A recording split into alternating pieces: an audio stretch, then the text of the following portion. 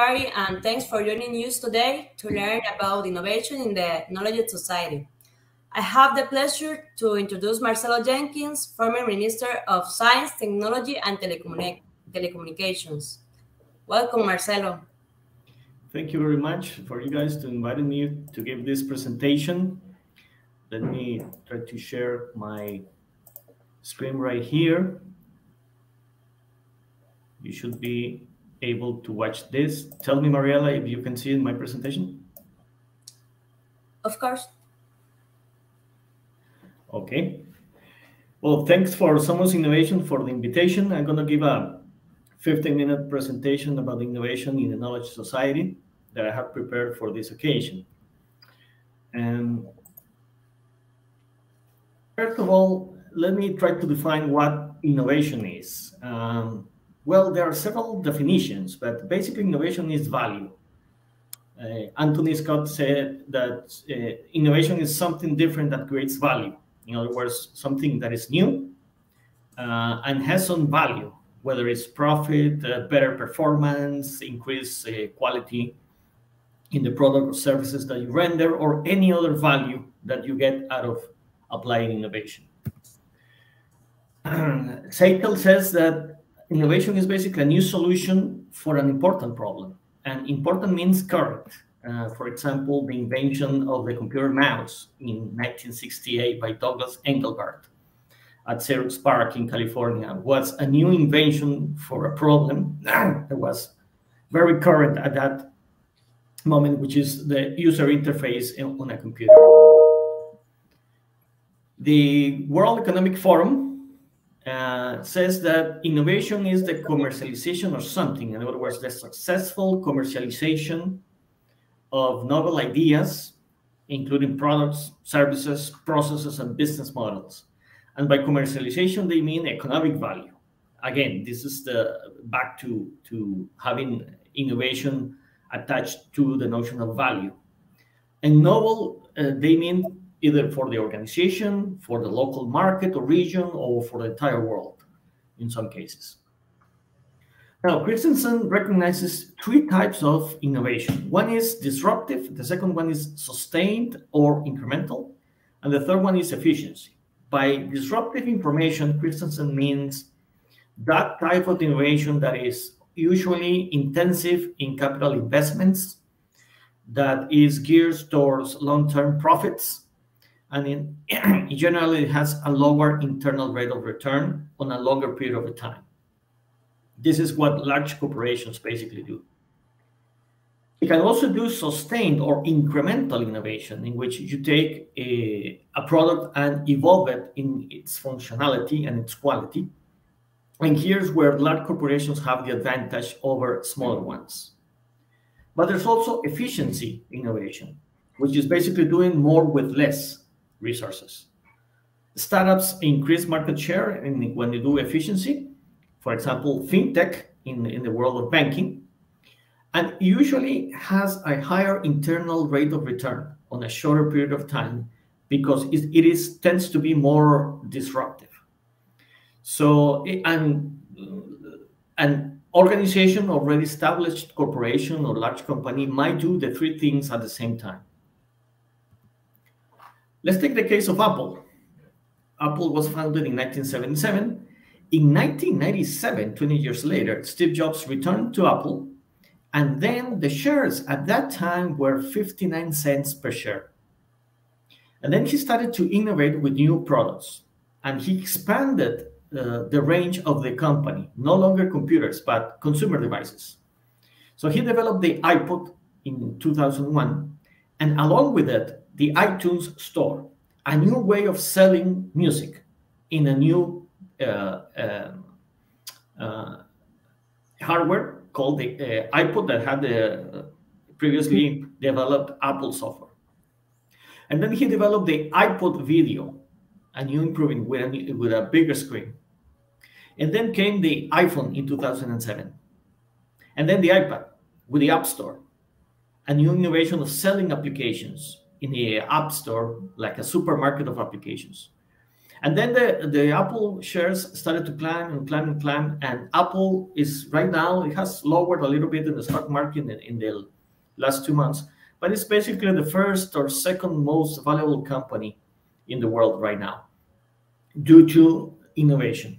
At the beginning, in 1997, 2001, it was disruptive in, in, innovation. And then later on, with the new models and, the, and the, uh, of the iPod and the iPhone, it started to do incremental innovation, which is very common in large corporations. So this is a case of a company that was rescued from three months uh, from bankruptcy into being the most successful company in the tech industry in the world due to its innovation DNA. Now, how does innovation occur? Well, there are several ways it can occur in, in, the, in the environment, from theory to practice, from academic value to commercial value. Innovation might occur in several ways. Uh, you can do basically basic research, either at university or research center or, or private or government funded. And then you identify potential uses of that innovation. And then you uh, do applied research with new, ideas and solutions to develop products and processes. And then you start to do development in which you develop products, whether it's software, hardware, or a combination of both. And then you um, cross the line between a research institution and industry. And some spin-off companies might, might be created to do so. And with development, you probably apply, uh, develop new applications, new ideas, new products to be commercialized. And that commercialization phase starts with um, or generates new needs for new products and processes, and you go back to development. And then you increase the commercial value of your innovation. This is how Google was started in 1998 by the two founders that were studied. They were studying um, PhDs in computer science at Stanford University. So this is exactly the path they followed. On the other hand, there are other ways that, that this path can be followed. Uh, you might start up a company in a garage or something with new ideas and solutions. And then you go directly to development and then commercialization of those applications uh, and more needs and new products. This is how Apple was founded by Steve Jobs and Steve Wozniak in, 1990, in 1977. So there are different ways of doing this, but the end result is basically the same. At the end, you have an innovative product or innovative way of doing business uh, that has some value, and you can actually provide that value to your stockholders all over the world. Now, there's in, in later years, there's also the concept of open innovation, and this has been um, uh, uh, fostered by companies such as IBM with uh, its Watson computer, Microsoft by Kinect system, or Amazon with Amazon Web Services, or Apple with the software development kit that you use to develop applications for either Mac or, or the iPhone, and with, with uh, Google applications such as Maps and Android, in which you have basically you tap into the development idea, DNA of groups around the world with geeks or creatives, academics in the in the academic world, inventors, public agencies in some cases that can fund projects, entrepreneurs of all kinds, or change agents, or tech companies, or either investors to actually develop new solutions, new applications on top of those platforms. So you get a lot of applications on top of Apple iOS or Google Maps or Google Android applications or Amazon Web Services, for example. So this has opened a Pandora box of having innovation coming from different parts of the world, from different uh, groups of people that can actually use those platforms in a win-win situation to develop new solutions uh, for users. Now, according to Forbes, and, uh, this is the ranking from 2018, these are the 20 most innovative companies in the world. Uh, number one is ServiceNow. Then you have Workday, Salesforce.com, Tesla, Amazon, uh, Netflix, Incyte. Hindustan Unilever, Naver, and Facebook. And you notice one thing out of the top 10, six of them are software companies or tech companies. And I'm including Amazon that started as a retail company in the 1990s, but it's now basically a tech company that has a retailing outlet. So this innovation uh, stuff has been uh, fostered by basically by tech companies around the world, and in some cases, pharmaceutical companies. And the reason for that is that they they generally invest a great percentage of their sales. They invested back into research and development to new products and processes. Uh, sometimes all the way up to 15% of gross sales are invested back into the company to do research and development. To rank this, the uh, WIPO organization, which is the World Intellectual Property Organization, which is part of the United Nations uh, set of institutions, has developed what they call the Global Innovation Index. And this is an index that ranks countries around the world every year uh, on how innovative those countries are. And it's composed of several sub indices, including the rankings of institutions, human capital, and research, the um, sophistication of the infrastructure within the country, the market sophistication of that country, their business sophistication, the knowledge, technology, and outputs, and the creative outputs of each one of the countries. And using those sub-indices, they compute the Global Innovation Index every year. And this is the latest publication. It was published in December of the, uh, 2021. And according to this ranking, the most innovative country in the world for the fifth year in a row is Switzerland, with a score of 65.5.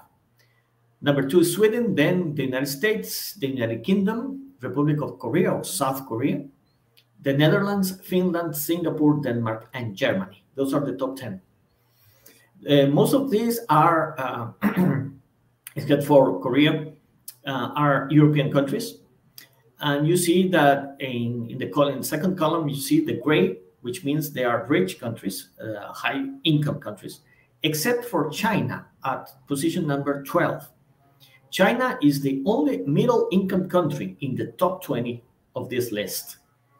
Uh, China's income is about GDP per capita is about eleven, twelve thousand dollars a year. That, that's considered a middle high income country around the world, which is sort of the exception in this. Uh, some Latin American countries are ranked in the 50th position. For example, Chile is number 53, Mexico is 55, Costa Rica is 56, and Brazil is 57, just to give you an example.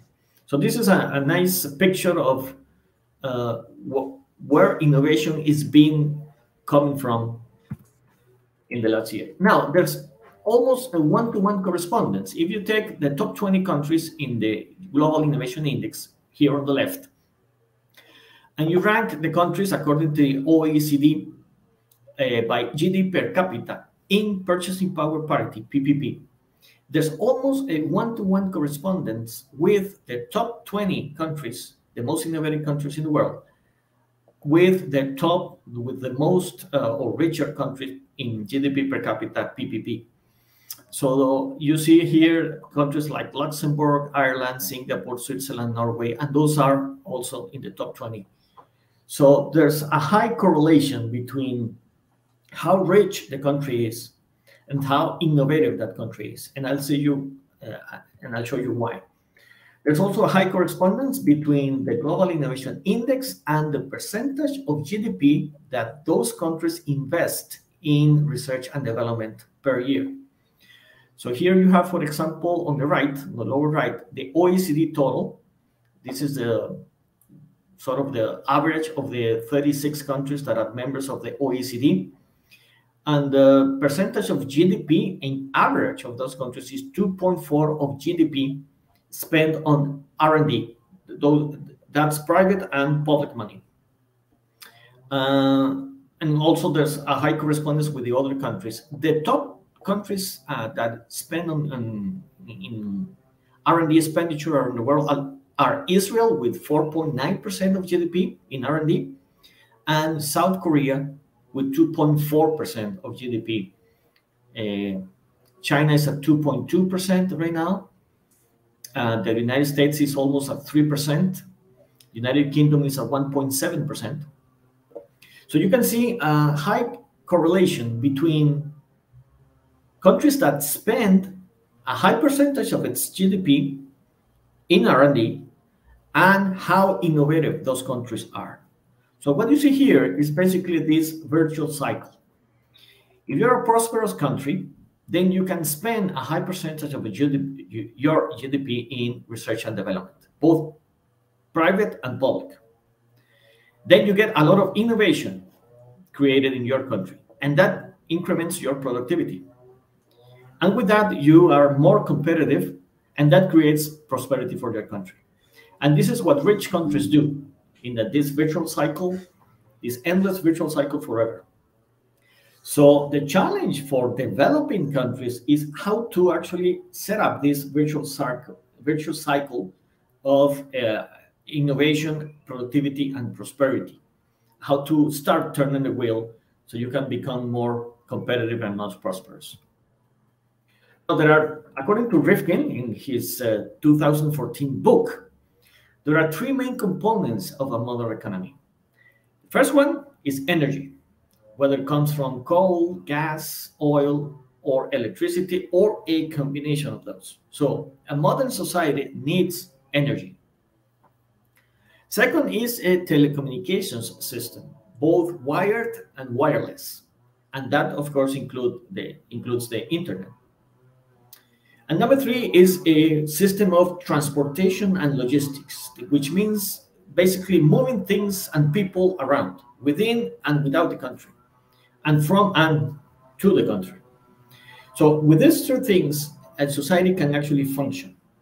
Now, if you take these three components, energy, telecommunications, and transportation and logistics, and you apply information and communication technologies, modern ones, uh, what McKinsey called the digital force, to do three things.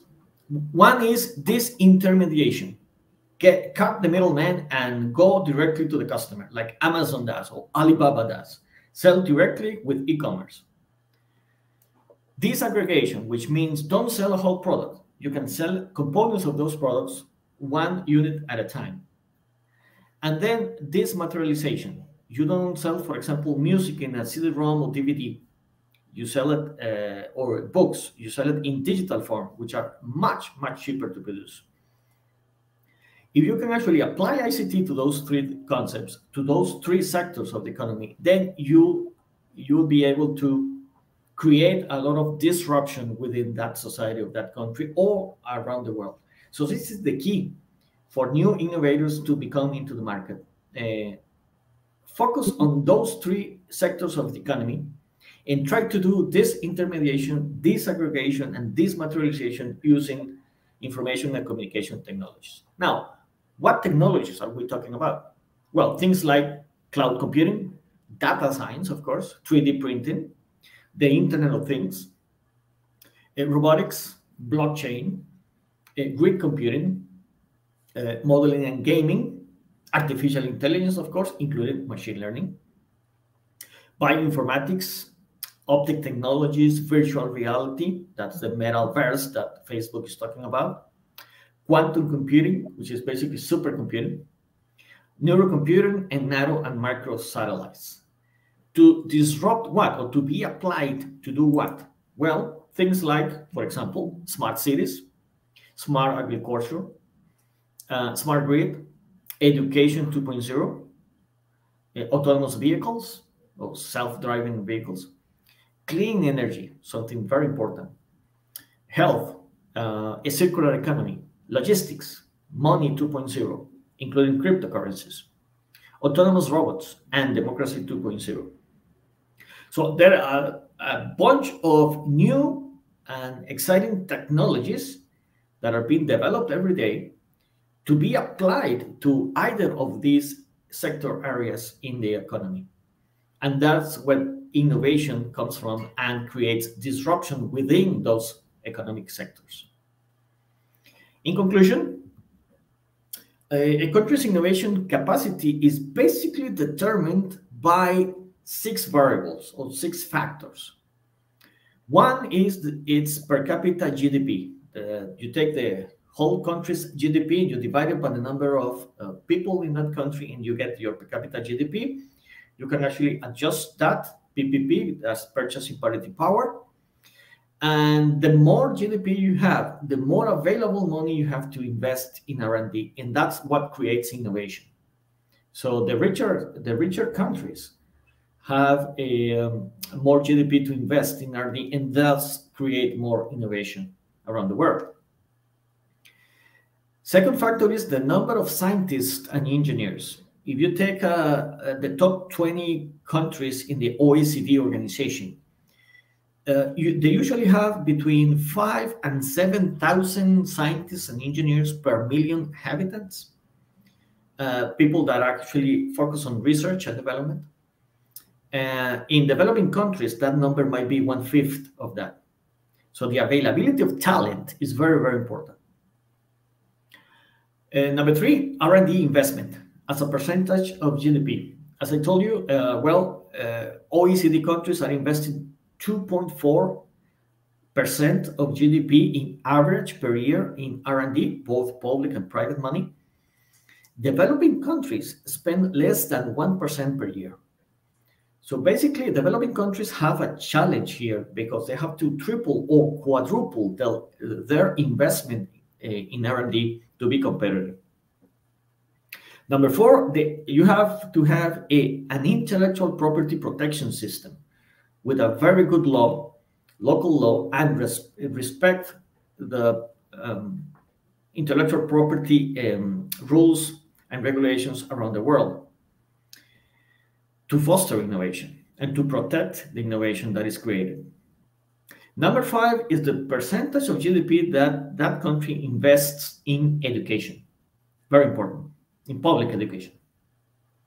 And finally, you have to have an open trade position uh, and be open to trade because you can actually exchange goods and services uh, in, in a globalized manner and, and not, not only export your innovation, but also import some of the innovation that is created around the world. So you need a, an open trade policy in your country.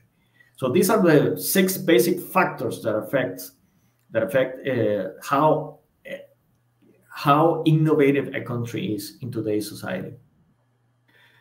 Finally, let me conclude by saying that there is no silver bullet to create a successful national innovation system. Uh, different countries do it in different ways. Um, now, all countries uh, to actually foster innovation need some innovation inputs like scientists and engineers and, and resources like R&D money. They need sophisticated markets in which innovators can actually create value and get that value out of the innovation they create.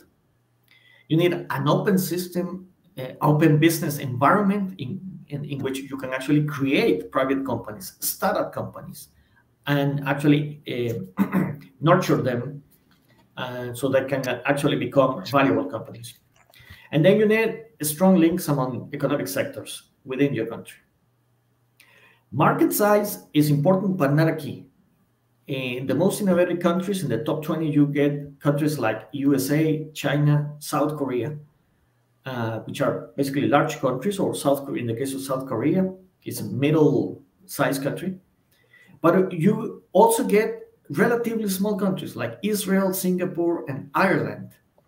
And these are countries of less than 10 million people with relatively small geographical uh, uh, areas, especially Singapore. So you don't have to be a giant to be uh, in the top 20 most innovative countries. What you need is a good investment in R&D, and you need uh, the six factors that we talked about. With that, I, Alain, thank you very much, and I'm here for any questions uh, that you may have. Thank you, Mariela. Thank you so much, Marcelo. Uh, the question is on the finish. Okay. Um, I now I want to introduce Ivan Jovetic, university professor and entrepreneur from, from Montenegro. Hello, hello, hello, everyone. I hope you hear me very well, and thank you for this opportunity. And special thanks to my dear friend um, Federico for inviting me to be part of this event. It was a pleasure to share the floor with uh, all of you, and uh, thanks to Professor Marcelo for uh, very interesting insights. When uh, I got the topic, um, so basically I'm coming from uh, Montenegro, I'm coming from University of Donja Gorica, which UDG uh, as an acronym, which is uh, the biggest private university in, in, the country. And I think it is also the biggest uh, entrepreneurial project in Montenegro. And from my perspective, it is um, a university, and I think it's acknowledged worldwide.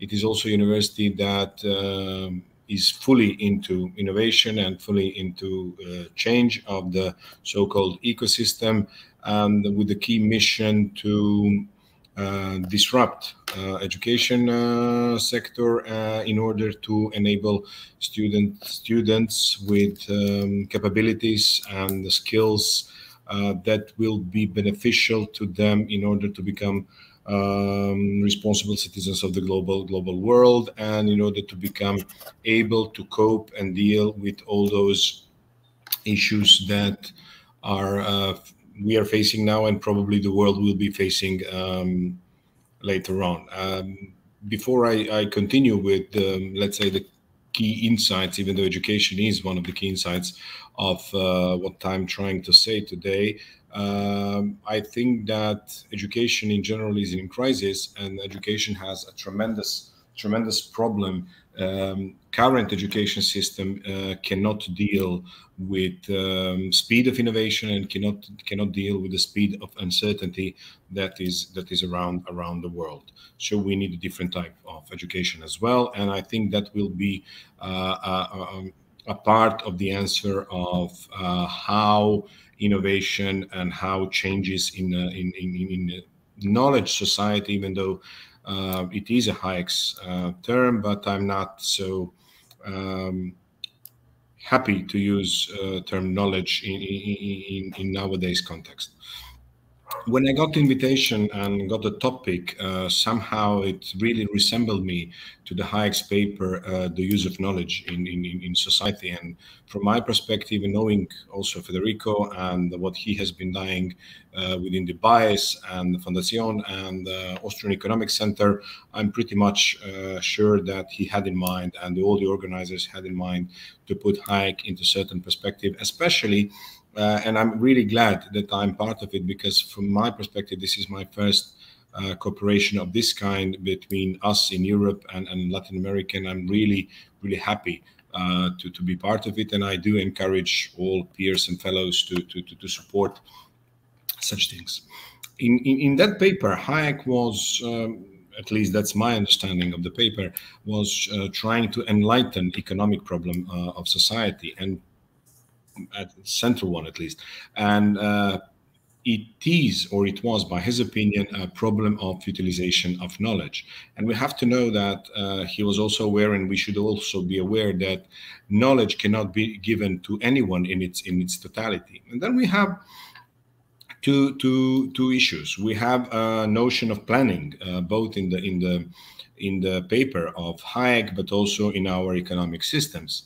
And uh, Hayek refers to planning as um, complex, interrelated, uh, complex of interrelated uh, de decisions uh, that are uh, about to how to allocate our available and scarce resources. So we all should plan, but the second question is who will do the planning? Uh, according to him, and I'm really close to it, uh, there are two two uh, options: um, some central authority, uh, some kind of a board or institution or whoever might that be, or and that is where I'm really uh, personally close to it. Uh, it should be divided by uh, many individuals, uh, many individuals, uh, and I think this is really, really essential in different economic thinkings. And if we opt in for such divided planning, divided personal planning of individuals, of numerous individuals, we that lead us to, to something that we all know as a competition. But one of the key questions, um, maybe not raised in, in, in, his, in, his, paper, but I would like to, to open, uh, maybe for, for someone to think about it, or maybe for, for all of us to, to make a kind of a discussion afterwards. Um, what is knowledge? Uh, I really think that knowledge uh, is usually something that we can find in the books.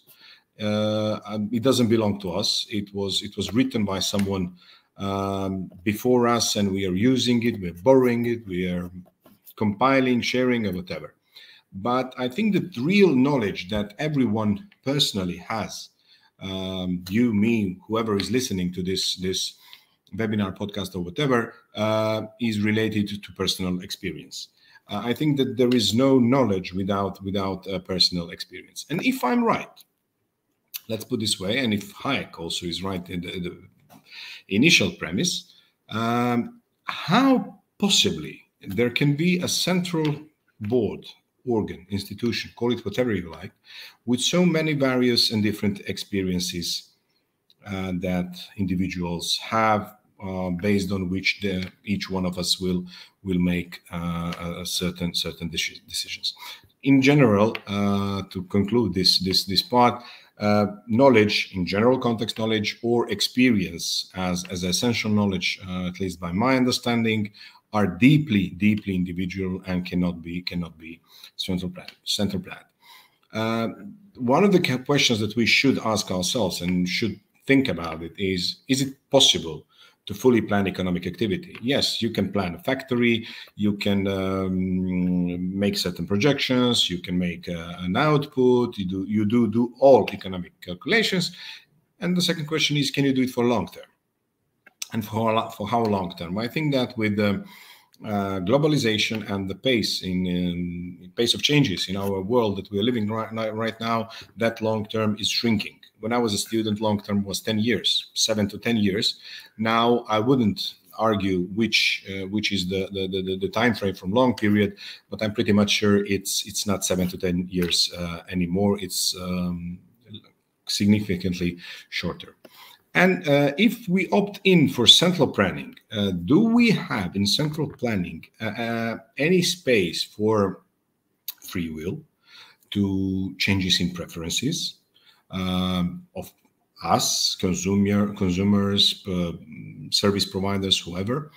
Um, do we opt in for uh, changes and different interactions among people? Can we foresee them? Can we plan them? Can we plan changes uh, in total? Can we plan uh, social changes? Can we plan technological change, changes? Can we plan economic in economic changes? I think that in our globalized world, Hayek's argument regarding the core importance of, of, of change is becoming even even more uh, relevant. So, according to him, and I'm, I'm supporting that, uh, if I can put it that way, um, economic problem of, of society is um, a rapid, fast adaptation to changes uh, in uh, particular cir circumstances that are counting place and time. So, and if we put it uh, in our recent recent um, joint global history and trends that happened, uh, who could have predicted first COVID and its impact on, on on economy? Who could have predicted COVID and its impact on education? Who could have predicted uh, such ge geo uh, shifts uh, like it's happening um, in Russia and Ukraine? Um, some of some of you might say there were certain predictions of certain diseases, or there was a 2014 in Crimea, so it might have been forecasted, and so on. But who could who could have done it uh, quite precisely? Therefore, I really think that all the decisions regarding innovation, uh, all the decisions, even though a lot of innovation came out from the needs of military sector, but that's another story. But in general, I think that a, a lot of things should have been left to to to to to the, to the individuals, to, to to people that are familiar with the core circumstances. Even if you put it in a, in a COVID perspective, some of the companies uh, pivoted immediately due to the COVID, depend, uh, depending on the sectors. Some didn't in the same sector. Why?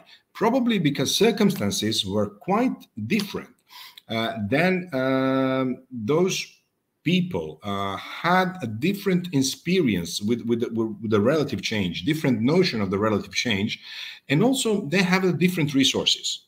Some of them opt in that they should pivot. Some of them said, no, we will not pivot due to these, these, these, these, and reasons, which we only know why and why we believe it's, it's, it's, it's true. So I think that those decisions should be left uh, left to individuals. And one of the things that is um, helpful in that context and that is uh, also that what is Hayek, uh, Hayek, was saying in his in his paper uh, is so-called price price system, uh, of course, uh, including all other potential um, adaptations, because that price system uh, is a form of um, identification of subjective subjective values. Um, what I really really think again to to conclude regarding central planning is. Um, that none non potential board or institution cannot know what is best for each individual individual that is that only individual person knows and that really get us back to to to, to smith's butcher and the baker and their self self interest but also uh, to to be really um, precise that also leads us to uh, Smith's context of morality, because I think that one of the books that we somehow neglected in the economic uh, theory uh, is um, Theory of Moral Set Sentiments, also written by Adam Smith, and I and I think that morality is and must be correlated in in this in this context. Uh, a second part of, of of the topic or of the title is knowledge society according to a lot of definitions, it is a society that is able cope to identify, produce, uh, process, transform, and so on, uh, different information, different ideas, and to build uh, and uh, create um, knowledge and apply knowledge for human development, further human, further human development. If I may put it that way, I would prefer to have a term like innovative and growing societies rather, rather than, than knowledgeable, but uh, rather than knowledge, but we can put it put it um, also in that in that way. Uh, we we have experienced as a civilization or as a civilizations different forms of um, knowledge societies. Each each revolution, uh, starting from the stone to agro to steam engine, chimney, IT, probably tomorrow cloud and artificial intelligence is definitely a form of, of uh, knowledge society or innovative society for further human human development. And in, uh, in, in, in, theoretical context, uh, every breakthrough uh, is happening, like Kuhn pointed out, uh, through scientific revolutions. Um, scientific revolutions usually happens when no, so-called normal science that existed before is becoming obsolete and unable to answer to uh, new demands and new challenges. COVID might be one one of that, and we ha we had scientific revolutions uh, due to COVID, both in medicine, education, even in economy. Uh, and I think uh, that each each each individual, or like Hayek is is saying, please do not get me wrong. It's not chauvinist, but I'm just quoting Hayek. It could be man or a woman, but uh, like Hayek is saying, uh, each man on the spot, that was his term, men or women on the spot, uh, are the ones that are creating scientific revolution. Uh, we need to also know, regardless of the fact that every innovation was a production of needs, uh, was a production of individual endeavor, and we cannot put or some of individual endeavors, but it was not a part of a certain collective organ, and that is that is really really important. Um, another important thing in, in this context of innovation and, and, and, and knowledge society uh, is related to, to, to, changes. It is also correlated to Hayek's ideas. Uh, when changes occurs, there are there are usually three types of, of reaction. First one is lack of reaction that is a form of reaction. So you do not react. It's like zebra. In uh, it, it never reacted to any kind of changes, and zebra is still zebra. Then you have a, any, any form of uh, survival. You just survive those changes, but you still remain um, like such. It's again zebra. Zebra didn't do any anything but survive somehow. And the third one, and quite important one, is is, is growth. It's rise rise of humans that converted. Uh, like Professor Vukotic, the director and founder of UDG, saying uh, that uh, adjusting circumstances to yourself converted an ape to a Marilyn Monroe. And I think it's it's really really uh, an important thing that uh, such a growth uh, perception and growth reaction is the one that enabled the rise of human as well. But one of the things that I think Marcelo was talking about that in in in, in, in maybe a different context, but uh, also that where I do agree, uh, the essence of innovative and growing society, call it whatever you like, call it a knowledge society, call it innovative society, call it an entrepreneurial society, whatever you call it, is entrepreneurship. Because entrepreneurship, uh, and a lot of people are saying that the biggest entrepreneurial um, project on, on, on earth was the rise of humans. And entrepreneurship is also, among other things, adapting changes to yourself and nowadays, when we live in an exceptionally networked uh, and globalized world, and as Toffler said, when we live in um, age of access, age of um, ability to access, I think it's becoming also an age of entrepreneurs and age for entrepreneurs. Of course, there is a paradox within the entrepreneurship. It uh, one of the I do have eleven paradoxes of entrepreneurship, but one of them is it was never it has it has been never so easy to start uh, to become an entrepreneur but in the same time it, ha- it, has never been so hard because competition is tremendous and that competition is related to numerous individual uh, decisions uh, and I think in in in, in this uh, in this uh, the, the, world there is one question that majority of us should should answer. I know it's like that in Europe, uh, probably my guess is um, I'm sorry uh, if I'm ignorant in this case when it comes to LATAM, but due to the history and connections between LATAM and Europe, I really believe it's, it's relatively similar uh, also in LATAM. We still have tremendous belief in uh, in state, in bureaucratic will, and from my perspective, it is one of the uh, frontiers, one of the barriers of uh, additional innovation and additional spark of entrepreneurship. Uh, one of the key questions is does does globalization and does these networkings and does this uh, access age, like Toffler was saying, uh, do they change the role of the state? Or state remains the same. I really think that uh, the role of the state has been changing. And is rapidly rapidly changing in, in, in many many many different different uh, contexts.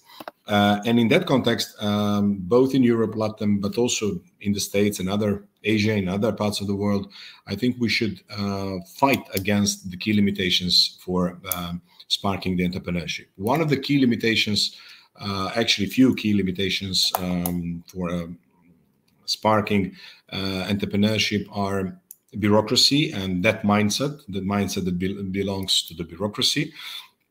And such necessity to get back to Hayek, such necessity to put everything into central planning, to take out the freedom of individuals to make their own decisions, then uh, tremendous public consumption. Uh, I didn't check the latest data for Latin countries, but I know from history that you also have had uh, tremendous uh, public consumption like um, European countries does.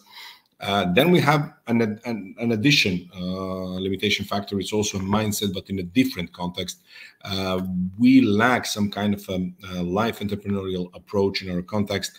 Uh, we don't we don't support enough young people and entrepreneurs. In in in our societies, entrepreneurship is usually looked as a shady, dodgy um, occupation, and it's not something that you should be proud on. Which I really think it should be completely opposite. And then I think on both continents uh, we do have a lot of businesses oriented to to to to to the state directly or indirectly, and if your company is completely um, dependable on public tendering. Uh, please excuse me, but I do not consider such company as, as relevant business example, uh, and I can explain why uh, in the later part. Then we have issues of education. Uh, we lack entrepreneurial universities. I'm happy and I'm really proud and honored to be part of one university that not just me, but majority of our uh, peers and colleagues and network um, elements are considering as the entrepreneurial university. Then uh, we have an issue how we teach entrepreneurship at the universities. We usually teach uh, entrepreneurship by doing business plans, which is exceptionally far from reality. Um, creating a business plan before uh, going to the market is really close to, to, to some semi-central planning. So you're in your room, you do you project your market. Oh, I'm in a, I have a good location, so every fifth uh, citizen of my city will come. Oh, how do you know he or she will come? You don't know. And majority of the business plans, because of that, really vanish when they put when they uh, get in touch with the with the, with the market in real life. Then uh, culture. Uh, because we uh, have uh, those elements of and, and, and, and feelings of envy, of seeing failure as uh, something uh, tremendously wrong, like in other cultures, like in America, failure is something that should be considered as a learning loop, as a learning tool, not something as final countdown and something that is so tragic and of course we have we have uh, ethics and i'm really getting back uh, all of you if you're interested to, to read the theory of moral sentiments by by adam smith. Uh, i think professor marcelo said something like that uh, uh, in his speech and i do do do, do follow on that. We should uh, we must be clear that entrepreneurship is not innovation. Innovation is innovation. We can now discuss what is innovation in general, but the key difference between entrepreneurship and innovation is entrepreneurship is the way how you organize and manage and commercialize uh, innovation, not innovation, innovation per se. And final thing I want to share uh, today with you is the, the, crucial role of universities. I think in general, universities are in crisis. The key problem uh, within university, universities is majority of professors have been locked uh, in their own fields so lack of interdisciplinary um, cooperation, then lack of preparedness of students for life. Um, a lot of uh, I, I, don't object to reading, of course, but a lot of pure reading without any without any kind of a practice, uh, which is not good. Uh, I think that universities are a perfect place to spark the idea of freedom, spark the idea of entrepreneurship, spark the idea of free market, and create a set of values and see whether students fit or not. I mean, it should not be a dictatorship, but it should be a place where you can uh, choose and if you opt in uh, it should be certain set of values should be adopted certain mindset certain thinking certain culture so certain set set of uh, values I think that University of Tomorrow should be a place of advancement, place uh, that is usually networking all around the world, place that enables uh, students and professors to, to network, should be a factory of ideas. I think that universities are the best place uh, to, to, to, to, to foster startup uh, thinking and startup attempts. And um, it should be also a place that stimulates philosophy and stimulates uh, entrepreneurship not just to be uh, some kind of a pale place, uh, should be a place that sparks innovation and should be the places actually should be the place that are creating uh, next basis, next steps for further human development. Uh, in that regard, I'm honestly proud, and I will share that information with you that on March 30th, um, UDG has become a partner of, of, Arizona State University in Cintana Education. So we signed 25 plus years of strategic partnership, and we are becoming part of a large and vast network of really innovative and aspiring universities. And um, just to be uh, quite precise, Arizona State University has been for the eight consecutive years the most innovative university in United States. And why am I saying this? Not not not to to to uh, to promote us in, in, in, in any regard, but but to show you that um, that vision came from one man. It is completely individual, not centrally planned. It was idea of our rector, Professor Vukotic, uh, not to sign the agreement with ASU 15 years ago, but to have an open, transparent, accountable, and professional university with such respective set of values and to be completely open to the global market and to be uh, completely network, uh, ready to be network. And that was something that he uh, transferred to, to, to us, his first associates, uh, first by by um, uh, let's say the years that we joined, because I'm here since 2007, since the the, the establishment, and then we and especially him transfer that to our students and now former students that are now colleagues, uh, professor associates that are also transforming further, furthermore. Um, we didn't plan it. It happened, uh, but it happened due to numerous bold and courageous individual decisions. Thank you very much.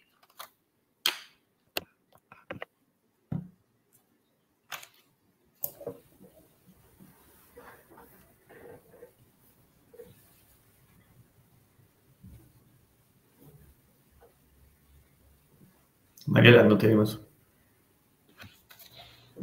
Thank you so much, uh, Ivan. Um, we have some questions for both. The first is, what is the role of the state in this scheme of systemic competitiveness? Should I address that or should I go first? What is the role of the state in this scheme of systemic competitiveness? Okay, uh, I believe, uh, and Ivan also said that that the state and the government uh, at all levels, um, sometimes it's federal, state, province, has a basic role. Um, if you take a look at the investment, for example, in R&D that actually creates innovation in developed countries, 80 to 85% of the total investment in R&D in those countries is made by the private sector not the government. But the state has to actually create that environment. He has to open the economy, create a business environment in which innovation can actually produce value to clients, to stakeholders, and also it has to protect the intellectual property of those organizations, companies, entrepreneurs that create innovation. So the state has a key role in that. In some countries, and the military sector also has a key role. That's the case, for example, of Israel or South Korea, for example, or the United States and some European countries, in which the, the investment that the state uh, actually makes into or through the military create a lot of uh, technologies that later on are used uh, in other private or commercial sectors. The internet is the probably the best case of that, created in 1968 as a network of computers because the Department of Defense of the United States needed a decentralized network to communicate and to survive a nuclear attack. And that's how the ARPANET, which is the mother of the modern internet, was created in 1968. That's an example of a product that was transferred into the commercial sector, but was created initially by, by the state with a specific purpose. So yes, in every country, depend, independently of the size of the nature of that country, the state has a key role in creating that innovation environment in which that vir that virtuous cycle that I talked about can actually function. Okay, I'll, I'll try um, to, to put it. Um, it's Ivan. I forgot to tell you. Sorry. Uh, no, no, no, no. I forgot to, to, to, to pronounce my name correctly. So don't worry. It's it's it's. I it's, it's, it's nah, it's my mistake. Um, nevertheless, uh, there are two potential answers to to what what um, someone from the audience posed the question. Uh, if I have to put it directly, shortly, and bluntly, what is the role of, of the state? To stay away.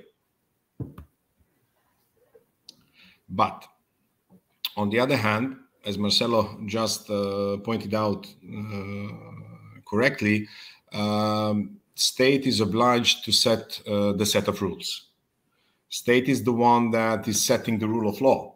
Um, by the social contract um, in the past, we obliged to have a to have a set of rules uh, a little bit beyond beyond beyond us then um, set is the one uh, state is the one that is setting environment uh, creating for me favorable environment would be the one including low taxation um, rule of law very very very small but very limited very, uh, very small and limited but very strong governmental institutions that are protecting uh, our certain our rights and from my perspective state should be limited to its core functions uh, then state should also be like a judge in football or soccer. She should not play. She's setting the rules and she's following the game. Is anyone uh, making making uh, any kind of a, uh, let's say mistake, and should he or she be be be be judged? Um, in our context, I was I was talking about our uh, experience with ASU and our previous and current experience with China and membership in uh, ANSO Association and so on. We did all of that without any, any state support. Luckily for us, luckily for us, but uh, in a nutshell, I'm fully on what Marcelo said. Uh, we should be uh, states should create the rules and set uh, the the instruments of the game, create an environment. Uh, and when it comes to FDI, I think that states uh, must also promote investments from uh, local entrepreneurs. Sometimes, at least in my part of the world, we are emphasizing we need them. So I'm not arguing on that, but we are pretty much emphasizing uh, foreign direct investments, which we need because they bring the know-how and everything. But some, somehow we neglect domestic domestic entrepreneurs and and and, and their their uh, investments. We also should should somehow change that. And um, there was also an, an excellent uh, example with the ARPANET and internet and how it came. I'm not going to repeat it, but uh, that very same uh, example shows the importance of entrepreneurs. It has been created by the military, but it has been given to us by an entrepreneur. Thank you.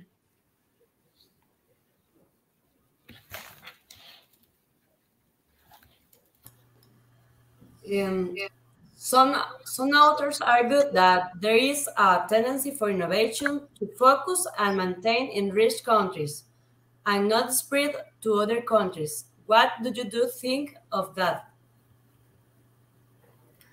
Well, this is yeah, this is true, and of course, uh, rich countries uh, have to retain their innovation because it is part of their wealth. They create wealth by innovation, and they want that innovation to stay within those borders and be protected by intellectual property systems. Now, um, I think that developing countries have a challenge here. And if you take a look at uh, countries like China and South Korea, for example, that were equally as poor as some African and Latin American countries back in the 1960s. Uh, and you take a look how have have they developed and how to become a middle income, in some cases, high middle income country like South Korea. And it was through the investment in innovation. So, yes, uh, that is true about rich countries, but that doesn't preclude developing countries from getting their act together and try to foster innovation through the private sector. And I agree with Ivan that, yeah, the government should be like a judge in, in a football game It should set up the rules, uh, call the shots, but don't be a player. Uh, at least that's the way that the concept that we have. And this is an ideological, uh, an ideological question.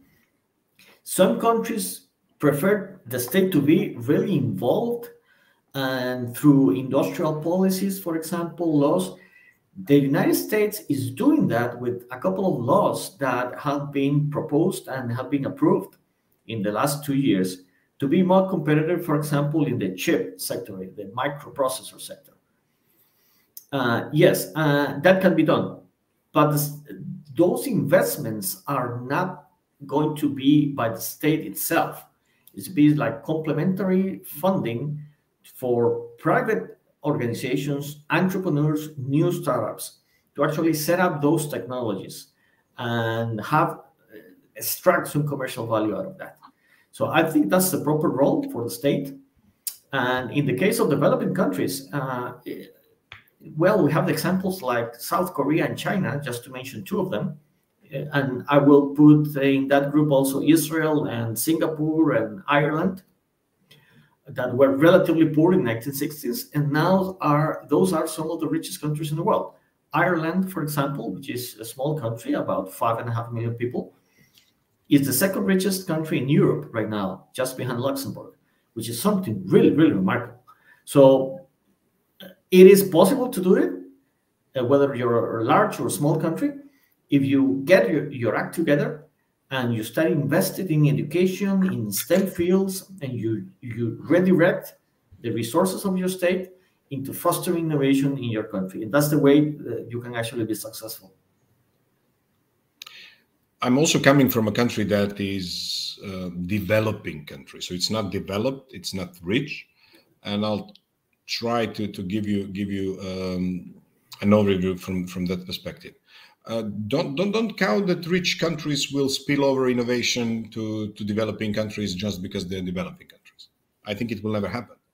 Uh, that's that's number one. The number two, I really think that nation states, the states that we know for the past 300 and, and a bit more years, are vanishing from from uh, international arena, and the global corporations, entrepreneurs, and uh, etc. are taking over uh, those places. Uh, but I fully agree with what Marcelo uh, said. Take uh, some very small countries. I'm not. I'm not going to talk about China. Um, two very good examples in Europe were Ireland and Estonia. Very poor countries at the time. In 1973, Ireland was the fourth most powerful, uh, most um, uh, among the most um, in a bad economic condition country. So it was very, very, very, very, very poor country. Uh, and nowadays it's second when you put GDP per capita uh, in context after Luxembourg. So they did a, a tremendous issue in, in let's say 40, 40 years. Uh, one of the things that I think all of us from developing countries we should listen to the experts. Actually, we should hear the experts that are coming from abroad, but we should rely on a domestic brains and domestic uh, experience because we do know traditional mentality and, and a society, and we need and we know what we uh, must uh, must change. But what I think that was especially important, uh, at least for Estonia, China, uh, also for Singapore, South Korea, uh, not China, sorry, Estonia, Ireland, uh, Singapore, and South Korea, China partially. Uh, it can also be, be said in, in one context, but not in the entire country. First, they opened up to the rest of the world. That, that is key. And majority of our countries uh, are nominally open. We want to trade, but you know, there is this, this, this, this, and that.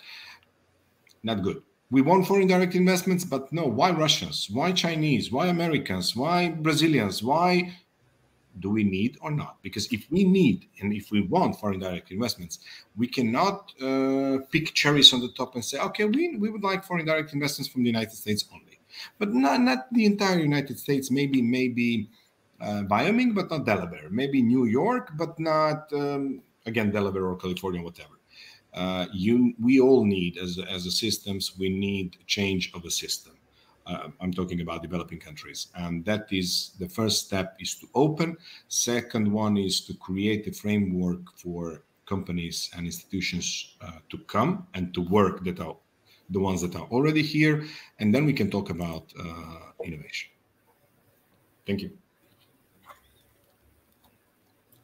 Thank you. Um, relate to what Ivan said about the importance of the states, what the two speakers think about the, the ideas of Mariana Mazzucato, who claims the state is key for innovation. Yeah, I think we, we already answered that. Yeah, it's key. Uh, as Ivan said, uh, the state creates the set of rules, the environment, the openness of the economy, the business environment, the intellectual property system.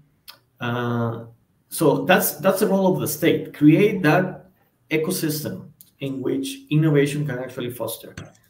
Beyond that, uh, I agree with Ivan that the state shouldn't be doing businesses or creating companies or be in the business of creating corporations or state-owned companies that actually uh, get into the market and compete with other private institutions.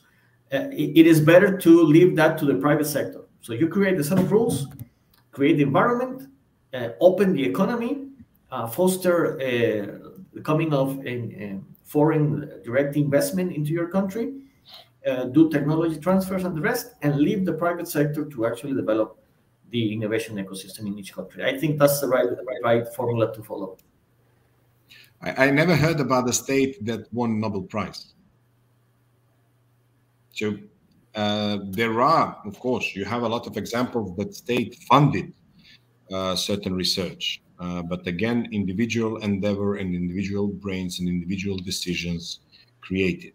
So I, I'm, I'm not sure that uh, regarding to what all what Marcelo and myself already said, I'm not sure that state is the key uh, for or of innovation. State is a judge. State is the uh, system that creates set of rules, and uh, it's a watchdog of those rules. And innovation is all about individual endeavor.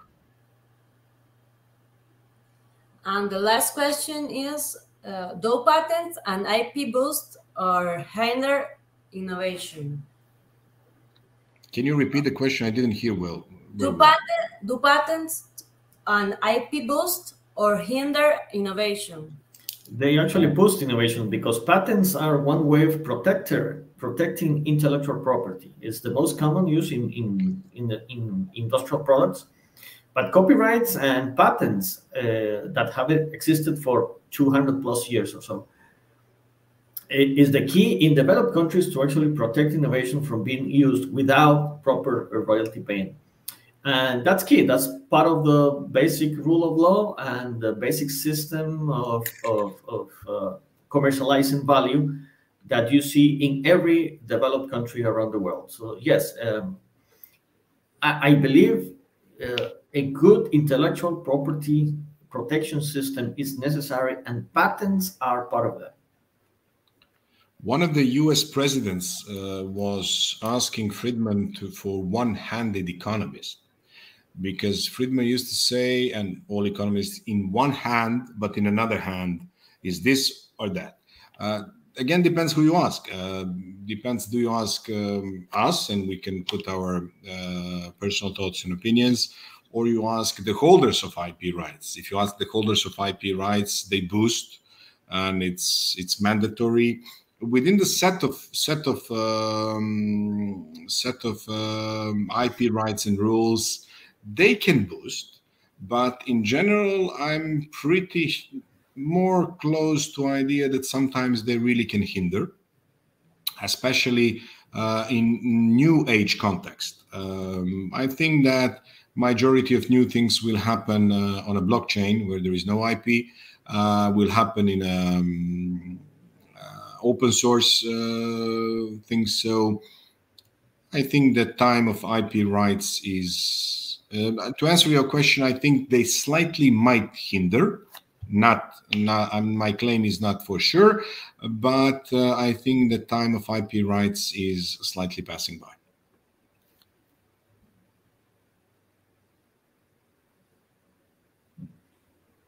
Thank you. Um, and I finished. Already? Thank you very much for the invitation, and thanks thanks uh, to all for, for for questions and comments. And really, it was a, an amazing pleasure to share the floor with you, Marcelo, and with you, Mariela. No, thank you, Ivan, and thank you, Mariela, for the invitation. Thank you. Thank you. All the best. Bye bye.